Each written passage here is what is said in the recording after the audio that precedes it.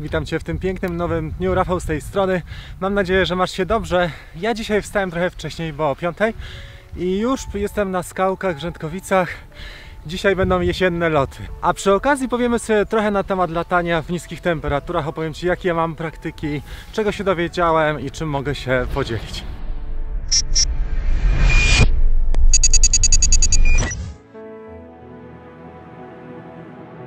Przede wszystkim, jeżeli chodzi o loty w niskich temperaturach, warto zadbać o siebie, żeby mieć fajne ubranie, ciepłe, żeby mieć przekąskę, jeżeli jesteśmy daleko od e, domu czy od samochodu, żeby mieć termos z piciem i żeby się ruszać, czyli żeby zmieniać swoje spoty. Nie tylko w jednym miejscu latamy i stoimy, ale przenosimy się, spacerujemy sobie 10 minut i, i latamy dalej.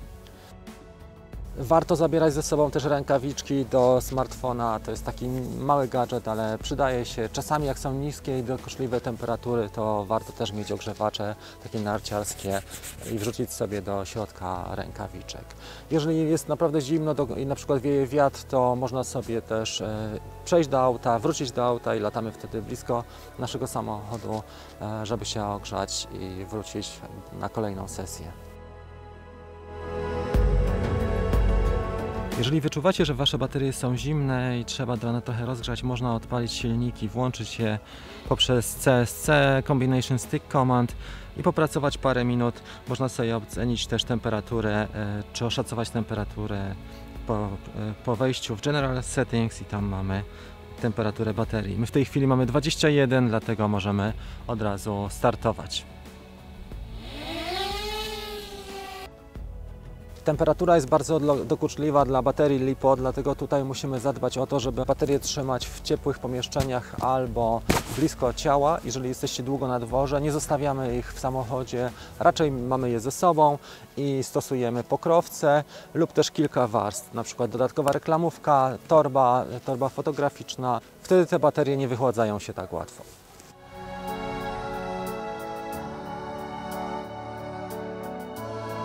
Kolejna istotna rzecz oprócz samej temperatury to jest to, żeby mieć naładowane baterie i żeby wszystkie komórki ze sobą, czy tablet, czy komórkę, ja biorę ze sobą zwykle dwa urządzenia. Zdarzało mi się tak, że iPhone mi się rozładowywał, dlatego teraz noszę ze sobą dwa urządzenia, mam e, iPoda i właśnie iPhone'a i to się sprawdza. Mam też powerbank ze sobą, mogę zawsze sobie podładować któreś z tych urządzeń, a korzystać równolegle z drugiego. Jeżeli mamy, spada nam napięcie poniżej 3,6 V, warto wrócić już i wylądować. Jeżeli 3,2 no to, to jest stan alarmowy, 3,2 V to już w tym momencie lądujemy na bank. Po wystartowaniu dobrze jest zawisnąć sobie na minutę, żeby zobaczyć jak ten dron się zachowuje i dopiero po minucie łagodnie latamy. W niskich temperaturach pamiętajcie o tym, że latamy dość łagodnie, nie stosujemy gwałtownych ruchów, raczej tryb sportowy nie bardzo, bo te skoki napięcia nie są zbyt mile widziane właśnie przez nasze baterie.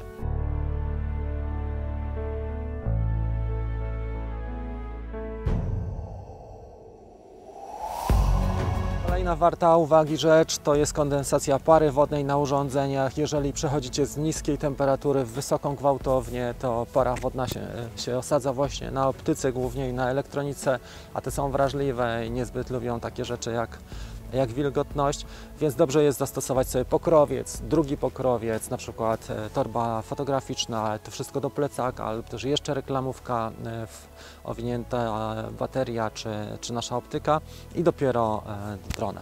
I stopniowo ogrzewają się te urządzenia, nie następuje gwałtowna różnica temperatur, dzięki temu nie kondensuje nam się para wodna. To chyba wszystko w telegraficznym skrócie, jeżeli chodzi o loty w niskich temperaturach. Mam nadzieję, że pomogłem przynajmniej e, w jednej kwestii i dzięki serdeczne za uwagę. Przy okazji chciałbym też podziękować wszystkim uczestnikom jesiennego konkursu e, filmowego. Wczoraj przyszły nagrody, które zamówiłem dla Was, także będę je teraz dzielił i rozsyłał. Jeżeli chodzi o uczestników kursu online Lataj pewnie i bezpiecznie dronem od DJI, chciałbym Wam bardzo podziękować, dlatego że to między innymi dzięki Wam mam już tysiąc studentów tam na platformie Udemy.